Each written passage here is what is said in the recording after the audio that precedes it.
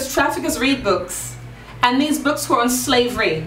Now hear this, my interpretation, my understanding, my thoughts, right? I don't know much about slavery, but I believe when they were cutting down coffee beans and cocoa beans, their hands couldn't be chained. It would be very ineffective to cut cocoa beans like that, right? Their hands would have been free, and sometimes their legs would be free as well to do the job. They were slaves, they had jobs. The traffickers read books on slavery to enslave these women. It's in the mind. So when you see a prostitute outside, don't judge her. Think about the five-year-old child. Let's look at the reality. Some of these women have a gun to their head. If you do not have sex for money, I will murder your kids. If you do not have sex for money, I will murder your family. Please understand this. I used to judge prostitutes, I'm being honest with you. But I've met survivors, I've read their books. I read Paid For by Rachel Moran, and it changed my life. When people say that prostitution is a job and a choice, I wholly disagree. Prostitution, in my opinion, according to Rachel Moran's book, Paid For, it is paid rape. We need to call it what it is. It is not a job, it is not a choice. And so when I see women out there, I don't talk to them. I don't want to put them in danger, but I smile at them. And so I want to encourage you, when you see prostitutes, don't judge them. I heard of a child, six months old in the United States, who was sexually abused by her mother. Understand this, her biological mother was sexually abusing her. When I shared this story with children, boys in particular, they said maybe she was getting paid. I said she was not getting paid, it was the emotional needs. That's the reason she did this to her daughter. Because her boyfriend said, if you love me, you will sexually abuse your child and take pictures of it. Please understand this. Now imagine if that six-month-old baby's mother never gets caught and that child is sexually abused until they turn 25. What's going to happen when she has a child? So when we're judging pedophiles, it's not our place. I Understand, I'm not going to hang out with a pedophile. I'm not going to be friends with them, but it's not our place to judge because we don't know their background. We have no idea. And understand, even adults can be groomed. We have to safeguard. Because when I was in MovieTowne in Trinidad, I was with friends.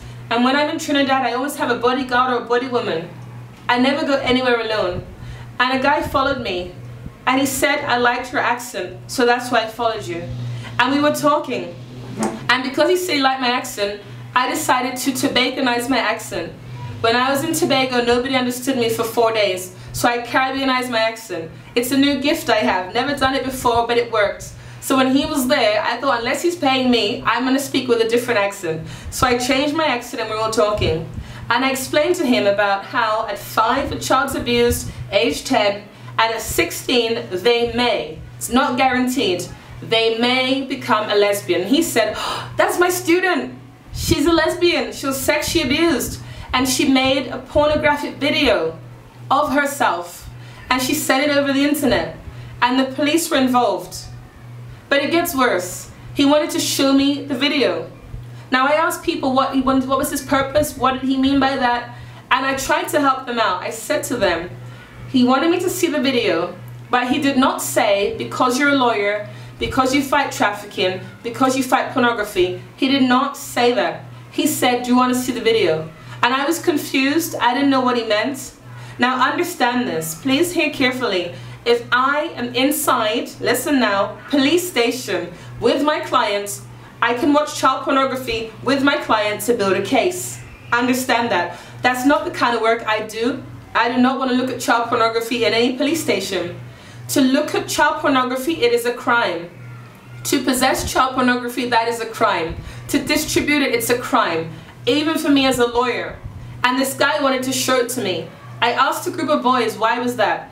And they made a comment that I won't repeat. It was pretty forward. The point is to groom me for sex. That was the reason why he showed it to me. And he didn't say that, but there's no other legitimate reason why you would show a lawyer who fights pornography pornography.